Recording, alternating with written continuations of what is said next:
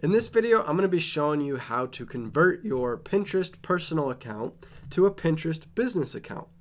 So for starters, I need you to go to business.pinterest.com and you're going to come to this lovely page right here. Now, under tools, you're going to find Pinterest Analytics, Rich Pins, and Buyable Pins. So these are the three major features you get when you sign up for a Pinterest business account that you don't get access to with a personal account.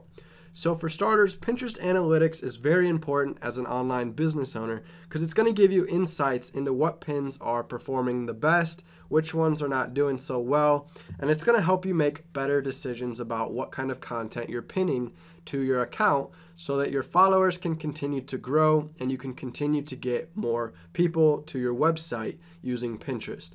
So, analytics is one of the most important features why you want to switch to a business account, but also you're going to get access to rich pins and buyable pins. So, rich pins, I'm going to show you an example in a second here. They basically sync with your website, so anytime you're linking to a blog post, it's going to pull extra data and information from your blog to make the pin a little bit more specific than the normal pins that you would see on Pinterest. So it's kind of hard to explain without actually showing you. So I'm going to come over here and show you a live example. So I'm going to type in golf exercises into the search bar and it's going to try to show me pins that are relevant to that search query. So right here, you're going to see one of my pins ranking near the top in the search feed. So it says four golf exercise to build your core muscles. So this is the pin. When somebody clicks on it, it's going to open it up and they're going to be able to scroll down and they're going to be able to see basically the article. It's going to say article from Golf Practice Guides. It's going to have the read it link. So with a rich pin, it's going to be in bold so that people know that it's a rich pin. It's going to have your profile here, your profile picture here, and it's going to say article from and then your business name. So this is a little bit more fancy compared to, you know, traditional pins. And then it pulls this information here uh, from your blog post. And then here's the description of the pin that I wrote in when I was uploading this pin to Pinterest. But this description right here came from my actual blog post itself. So it's kind of kind of cool that they give you some extra information to, and it helps you know make your pin look more professional so that it gets a higher chance of people clicking the read it button to check it out. All right, so back here again under tools, buyable pins. These are pins that you can upload that have price tags on them that take people directly to a product page.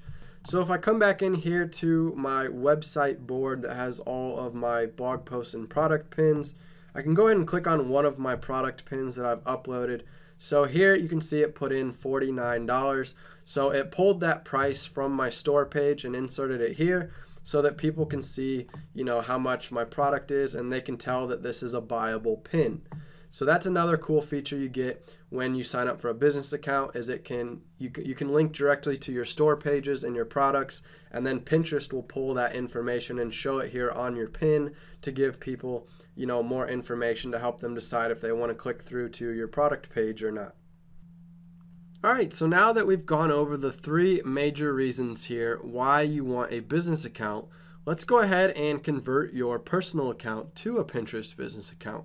So go under the Getting Started tab to set up your account, and it's going to bring you to the Set Up Your Account page here where you can sign up for a business account if you don't have an account at all. But if you've already got a personal Pinterest account, then you're going to need to come here where it says to convert to a business account. And you're going to find the link here that says convert to a business account. So go ahead and click this link and it's going to ask you to enter your business name, business type, website, and then press convert.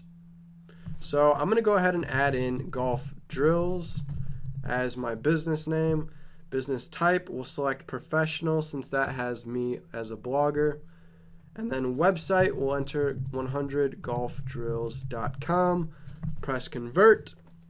All right, and now you've got a business Pinterest account. You can see now up here they've added analytics and ads to your menu bar and then they've adjusted everything over here. So now you've got the profile picture where you can access your profile and your settings, your billing, and then we've got the message button here now where you can access your notifications in your inbox.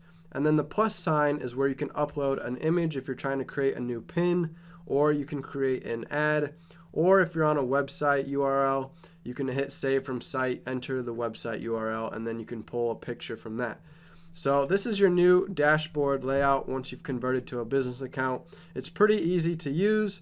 And then to get to your home feed, you just press the big Pinterest icon here.